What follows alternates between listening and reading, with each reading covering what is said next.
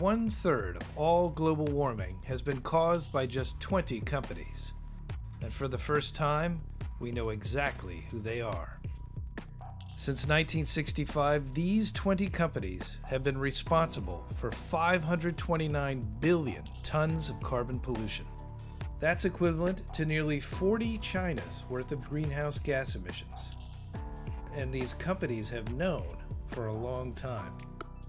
As early as 1965, the oil industry acknowledged that its products posed a major threat to the planet. Yet somehow, half a century later, all 20 companies are still in the fossil fuel business.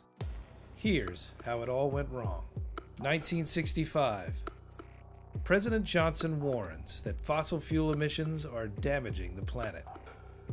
1968. An American Petroleum Institute report finds the potential damage to our environment could be severe. 1977. Exxon's own research warns that climate change is real and fossil fuels are a primary cause. 1988. Shell finds that if emissions continue, changes to the planet will be the greatest in recorded history. The company concludes that by the time climate impacts become measurable, it might be too late to reverse the damage. But instead of fixing the problem, the industry did everything it could to pretend there wasn't one.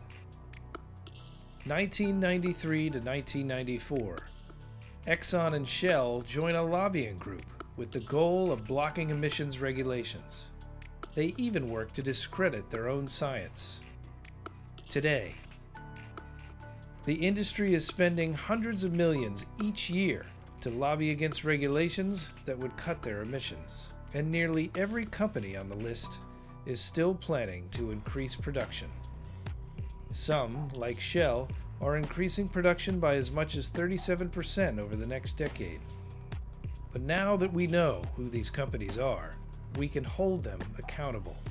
We can elect officials who will support renewable energy and enact a carbon tax.